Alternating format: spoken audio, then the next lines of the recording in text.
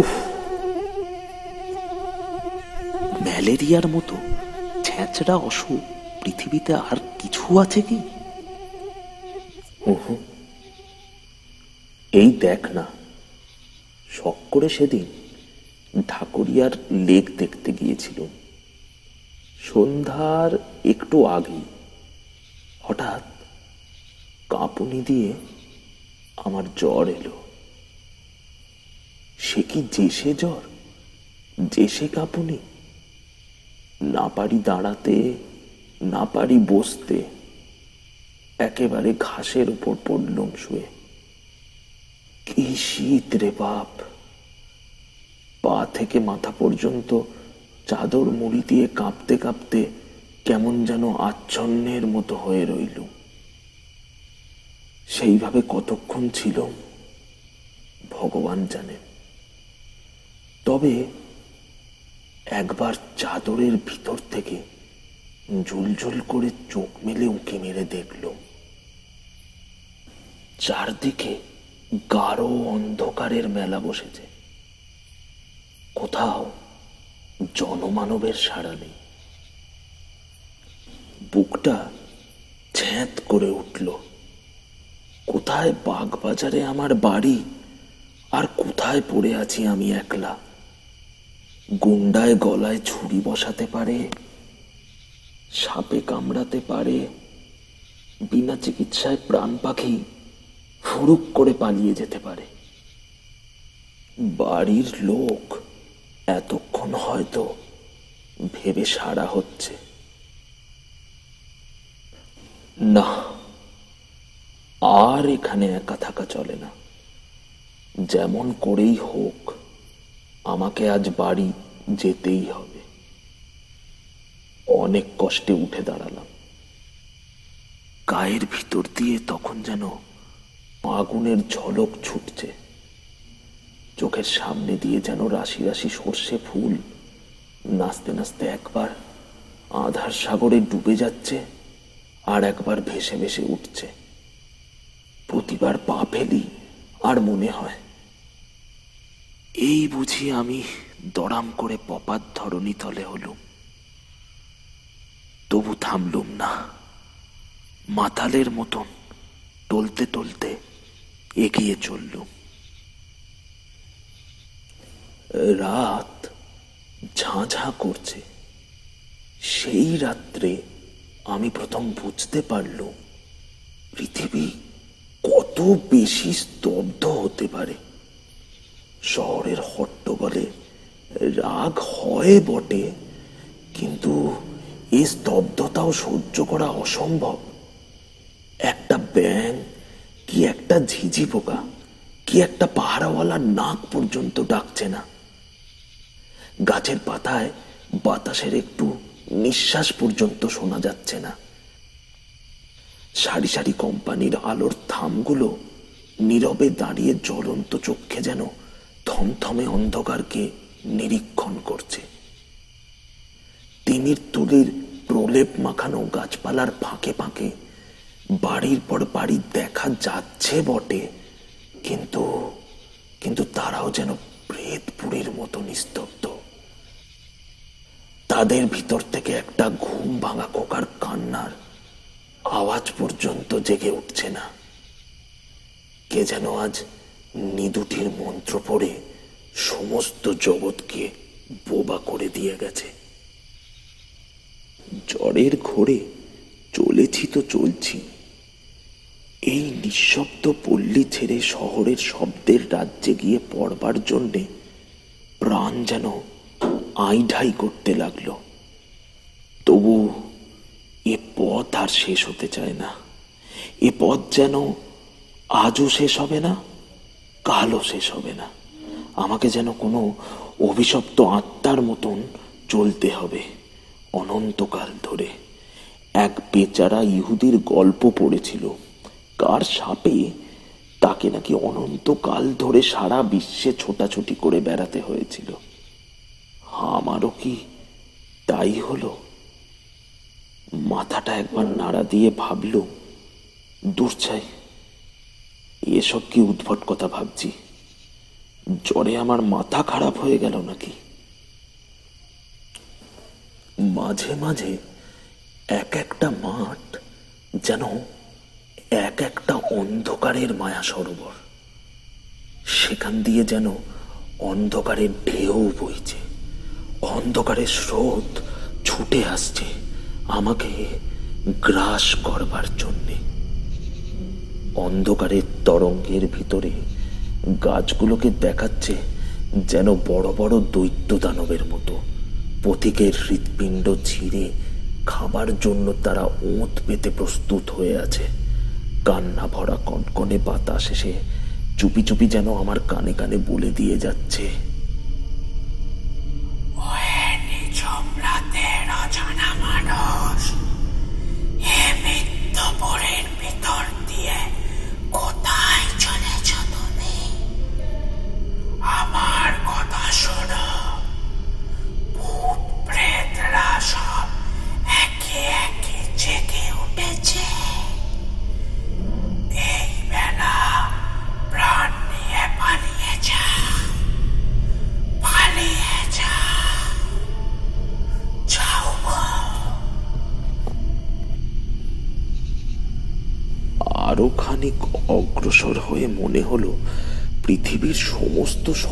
এসে আমার দুই পায়ের দুই জুতোর ভিতর আশ্রয় নিয়েছে।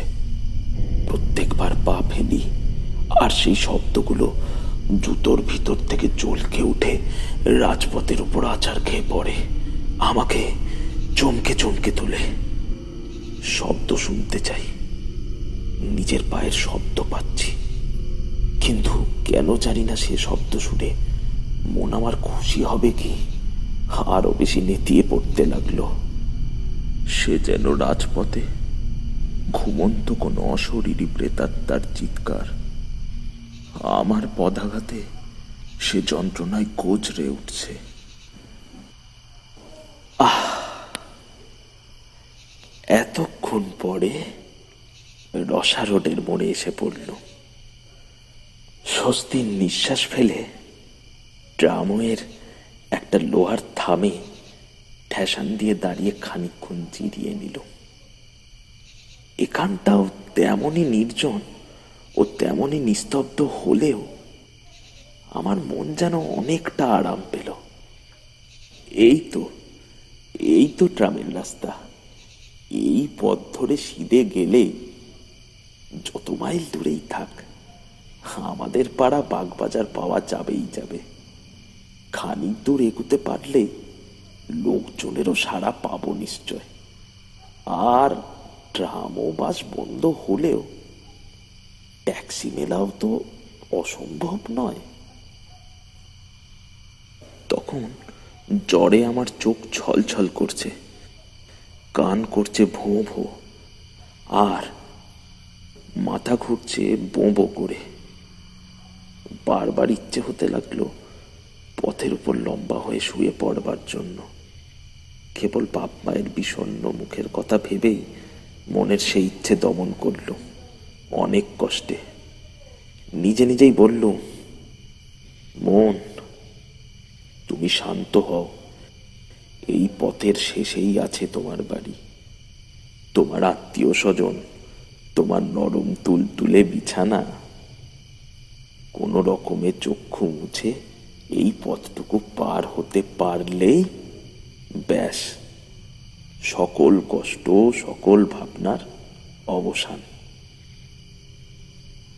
হঠাৎ দূর থেকে একটা শব্দ জেগে উঠে চারিদিকে নিস্তব্ধতার মুখে ভাষা দিল। ঘর ঘর ঘর ঘর ঘর ঘর ঘর ঘর করে একটা বাজ ডাকার মতো শব্দ আমার দিকেই এগিয়ে আসছে। তারপরে শুনলাম ভেপুর আওয়াজ।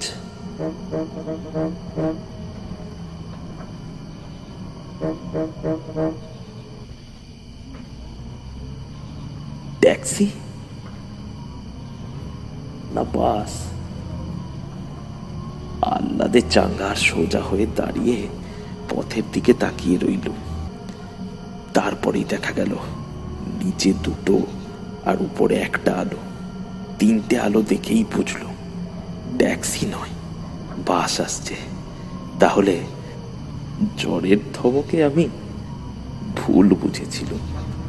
বাস যখন চলছে, তখন রাত খুব বেশি হয়নি। কিন্তু আশ্চর্য, এরই মধ্যে এ অঞ্চলটা এমন ভয়ানক নিস্তব্ধ হয়ে পড়ে। বাবা, আমার কলকাতার গোলমাল বেঁচে থাক। এই অঞ্চলে এই অঞ্চলে আবার ভদ্রলোক বাস করে? কিন্তু বাসের আলো অত বেশি জ্বলছে কেন? সামনের সারা পথ সে যেন আগুনের ঢেউ বইয়ে ছুটে আসছে। আর এই নিরালা পথে অত জোরে ভেপু বাজাবাড়ি বা কি দরকার? এ অঞ্চলের সন্ধ্যার পরেই ঘুম কাতরে লোকগুলোর খানে যে তালা ধরে যাবে। ঊর্ধ্বশ্বাসে ছুটতে ছুটতে ধুলোয় ধুলোয় পথ অন্ধকার করে একখানা রাঙা টকটকে মস্ত বড় বাস আমার কাছে এসে হঠাৎ দাঁড়িয়ে পড়ল। এবং সঙ্গে সঙ্গে একজন তীব্র, তীক্ষ্ণ স্বরে চেঁচিয়ে উঠল। এই ধর্মতলা ওয়েলেসলি শ্যামবাজার। এই ধর্মতলা ধর্মতলা। শ্যামবাজার শ্যামবাজার। আমি তাড়াতাড়ি বাসে উঠে একখানা গদিমরা আসনের ওপর গিয়ে ধূপ করে বসে পড়লাম। হোক শ্যামবাজারের বাস। এই স্তব্ধ মরার মুল্লুক থেকে এখন তো সরে পড়ি। আর শ্যামবাজার থেকে বাগবাজার পায়ে হেঁটে যেতে এমন কিছু বিশেষ দেরি লাগবে না। কিন্তু কেন জানি না বাসের ভিতরে ঢুকে আমার বোধ হলো, আমি যেন এক জগৎ ছেড়ে আর এক অচেনা জগতের ভিতরে প্রবেশ করল। বাস ছুটছে, তার ভেপু বাজছে। এত বেগে বাস ছুটছে, তার জানলাগুলো সব খোলা রয়েছে। অথচ অথচ বাহির থেকে বাতাসের একটুখানি ঝলক পর্যন্ত আমার গায়ে লাগছে না। ভারী অবাক হয়ে গেল। আমার জ্বর কি এত বেশি উঠেছে যে দেহের অনুভব করার ক্ষমতাটুকুও আর নেই? পথ তেমনই নির্জন আর নিঃশ্বাস কিন্তু বাতাসও কি আজ ঘুমিয়ে পড়েছে? আমার খালি মনে হতে লাগল দম বন্ধ হয়ে সারা পৃথিবী আজ মারা পড়েছে। তার কোথাও আর জীবনের লক্ষণ নেই। বেঁচে আছি খালি আমি, ওই বাসের ড্রাইভার কন্ডাক্টর। আমরা তিনজন ছাড়া বাসের ভিতরেও কোনো আরোহী ছিল না। থাকবেই বা কেন? এত রাতে কার ঘাড়ে ভূত চাপবে? যে বাসে চড়ে বেড়াতে বেরোবে? বাসের ভেপু বাজছে আর বাজছে। কান যে ঝালাপালা হয়ে গেল। কন্ডাক্টরের দিকে তাকিয়ে বিরক্ত স্বরে বলল, ড্রাইভারকে বারণ করে দাও। পথে লোকও নেই, গাড়িও নেই। তবু এত হর্ন বাজাচ্ছে কেন? লোকটা শিখ। মস্ত বড় লম্বা দেহ, মস্ত বড় দাড়ি। সে কালা আর ভোবার মতো আমার পানে তাকিয়ে রইল। আবার বলল, শুনছ? হর্ন দিতে বারণ করো। সে তবু জবাব দিলে না। ড্রাইভারকে হর্ন থাতেও বললে না। লোকটা সত্যি সত্যিই কালা ও বোবা নাকি? কিন্তু না তাই বা হবে কি করে? এই খানিক আগেই তো সে এই ধর্মতলা ওয়েলেসলি শ্যামবাজার বলে চেঁচিয়ে পাড়ামাত করছিল। সে বোধ হয় আমার কথার জবাব দিতে চায় না। এরা কি ভেবেছে যে এদের ভেপুর আওয়াজে সারা শহরের ঘুম ভেঙে যাবে? আর তাহলেই সবাই বিছানা থেকে লাফিয়ে ছুটে এসে বাসের প্যাসেঞ্জার হয়ে বসবে। কিন্তু শহর জাগবার কোনো লক্ষণ প্রকাশ করল না। পথের আশেপাশে নেড়ি কুকুরগুলো আরাম করে কুণ্ডলি পাকিয়ে শুয়ে শুয়ে ঘুমোচ্ছিল। কিন্তু এই বাসের সাড়া পেয়েই তারা তাড়াতাড়ি উঠে ল্যাজ পেটের তলায় ঢুকিয়ে ছুটে পালাতে লাগল। মহাভয়ে কেউ কেউ করে কাঁদতে কাঁদতে। আজকে বাইরের জীবের সাড়া পাওয়া যাচ্ছে কেবল ওই কুকুরগুলোর কাছ থেকে। কিন্তু তারাও দেখা দিয়েই অদৃশ্য হচ্ছে। কুকুরগুলো কেন আমাদের বাস দেখে পালাচ্ছে? মনের ভিতর কেবল এই প্রশ্নই জাগতে লাগল। কেন? কেন? কন্ডাক্টর কেন আমার কথার জবাব দিচ্ছে না? কেন কেন কেন? ড্রাইভার কেন ক্রমাগত ভেপু বাজাচ্ছে? কেন কেন কেন? কন্ডাক্টরের দিকে ফিরে বলল তোমার ভাড়ার পয়সা নাও। সে মস্ত একখানা কালো হাত বাড়ালে। ভাড়া দিয়ে টিকিট নেবার সময় আমার হাতে তার হাতের ছোঁয়া লাগল। উহ, অমনি মনে হলো কে যেন একখানা তীক্ষ্ণ বরফের ছুরি দিয়ে আমার হাতে খ্যাঁচ করে খোঁচা মারলে। জ্যান্ত মানুষের হাত এমন ঠান্ডা কনকনে হয় আশ্চর্য হয়ে তার মুখের দিকে তাকালো। তার লম্বা চুল আর দাড়ি গোপের জঙ্গলে ভরা মুখখানি বাসি মরার মুখের মতো স্থির। তার চোখেরও পলক পড়ছে না, তার চোখ যেন পাথরে গড়া। আমার বুকটা গুড়গুড় করতে লাগল। আজকের শহরের এই নির্জনতা, পৃথিবীর এই নিঃশব্দ, বাতাসের এই অভাব ভাড়াটে বাসের এই ভেপুর আওয়াজ, কন্ডাক্টরের এই উদাসীন মূর্তি, সমস্তই যেন রহস্যময়, সমস্তই যেন অস্বাভাবিক। কি কুক্ষণে আজ বাড়ির বাইরে পা দিয়েছি। যতবার ফিরে তাকাই, ততবার কন্ডাক্টরের সেই মরার মতো স্থির মুখ আর পলকারা পাথরে দৃষ্টি চোখে পড়ে। কেমন একটা অমানসিক ভাবে আমার মনটা ছেয়ে গেল। আহার সহ্য করতে পারলুম না। সামনের বেঞ্চের উপরে দুই হাতের ভিতরে মাথা রেখে চোখ মুদে আমি চুপ করে বসে রইল ভাবলুম, শ্যামবাজারে পৌঁছাবার আগে আর মাথা তুলে চাইব না। কিন্তু মাথা তুলতে হলো। আবার চোখ খুলতেও হলো। আধ ঘন্টারও বেশি সময় কেটে গেছে। গাড়িও না থেমে ক্রমাগত ছুটছে। তবু এখনও শ্যামবাজার এলো না কেন?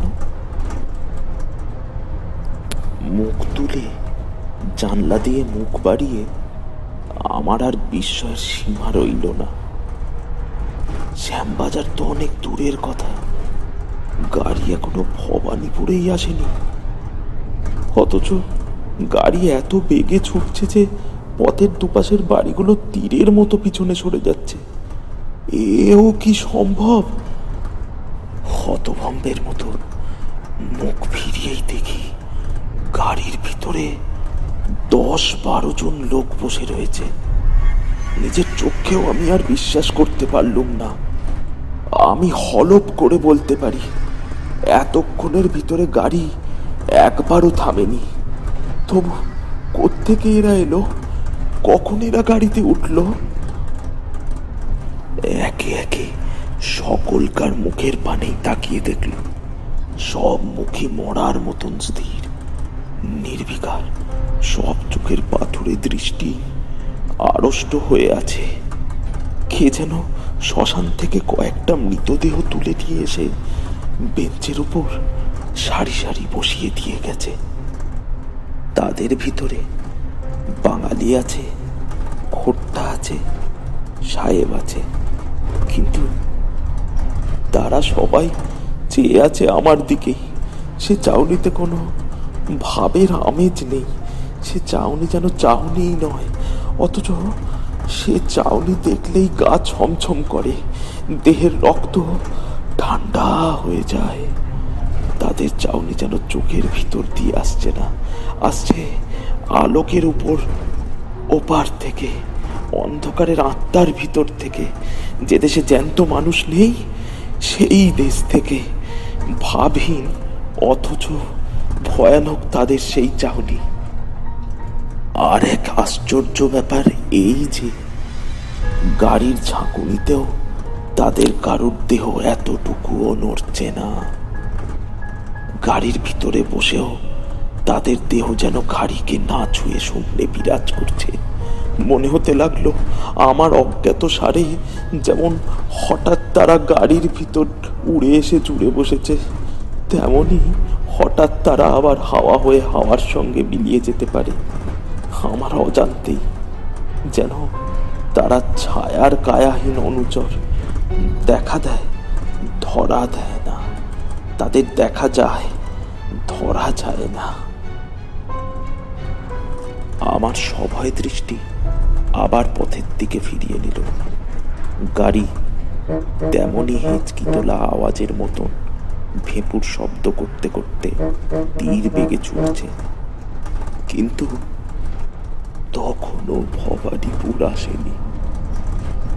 আমি শ্যামবাজার না সোজা জমালয়ের দিকে চলেছি। কি এক দুঃসহ অজানা টানে অস্থির হয়ে চোখ আবার গাড়ির ভিতরে ফেরালাম। গাড়িতে ইতিমধ্যে লোকের সংখ্যা আরও বেড়ে উঠেছে। তারাও স্থির নেত্রে আমার দিকে তাকিয়ে আছে। সমস্ত গাড়ির ভিতরে একটা বোটকা গন্ধ ভেসে ভেসে বেড়াচ্ছে, যেন বাসি মরার গন্ধ। হাসপাতালে মরার ঘরে গিয়ে আমি একবার এই রকমই গন্ধ পেয়েছিল আর থাকতে না পেরে হঠাৎ চেঁচিয়ে উঠে বলল এই কন্ডাক্টর, গাড়ি বাঁধো।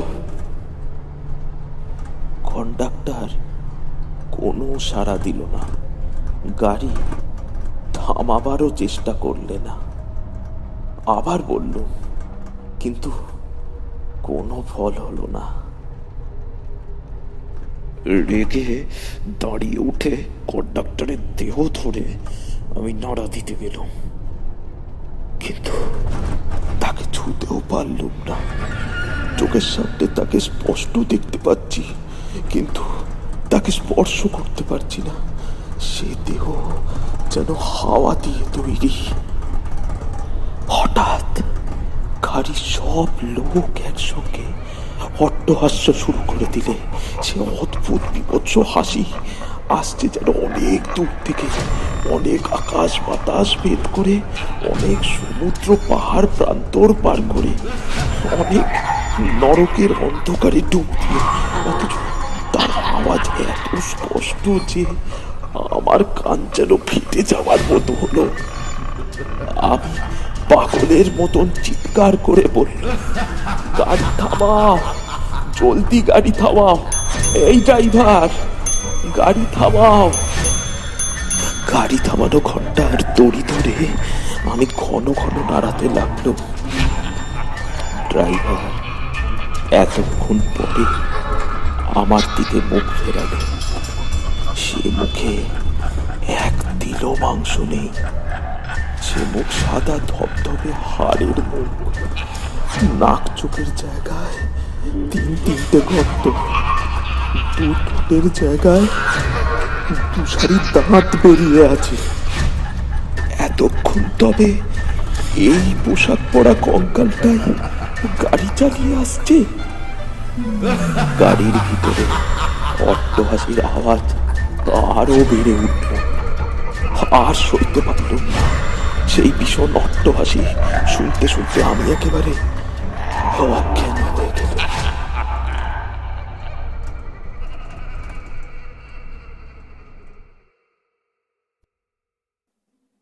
জ্ঞান হলে দেখলুম নিজের ঘরের বিছানায় শুয়ে আছি। আমার চারপাশে বসে মা, বাবা ভাই আর বোনেরা। শুনলাম আমি নাকি রসা রোডের ফুটপাথের উপরে জ্বরের ঘোরে বেহুশ হয়ে পড়েছিল। কালকের রাতের বিভীষিকার কথা সকলকে বলল। বাবা বললেন, ওসব বাজে কথা। জ্বরের ঝোঁকে লেকের ধার থেকে রসা রোড পর্যন্ত এসেই বেহুশ হয়ে পড়েছিলে। তারপর ওইসব খেয়াল দেখেছ? কিন্তু আমার মন বলতে লাগল, না না, আমি যা দেখেছি তা খেয়াল নয় খেয়াল নয়।